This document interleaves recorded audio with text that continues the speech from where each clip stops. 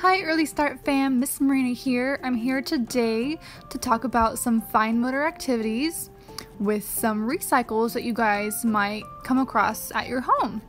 Um, so here I have taken a Parmesan cheese container. Um, I've cleaned it out, dried it out, um, and then I just cut some segments of um, straw.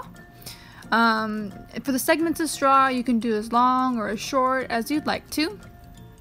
Um, and I'm using it as a fine motor activity because I'm opening this other side right here um, where you kind of shake the cheese out of. That's what it's intended for, but it's great for fine motor activities to try to put a segment of straw into the container.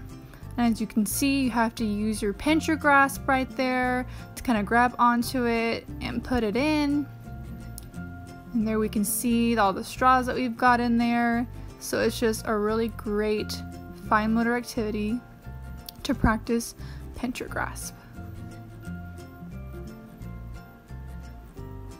And here's another one. It's kind of along the same ideas.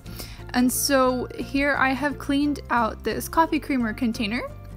And so it's nice and clean and dry. And so it opens really nicely. It has a little circular opening right there. And so I'm going to take some cotton balls, and most of us have cotton balls in our medicine cabinet or in our bathroom.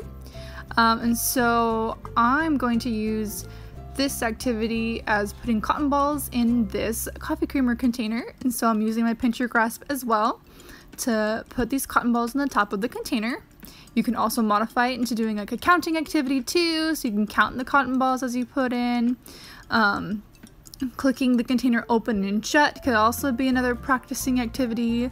Unscrewing the lid can be kind of like a wrist rotation activity as well. And they're screwing it back on can also be a wrist rotation.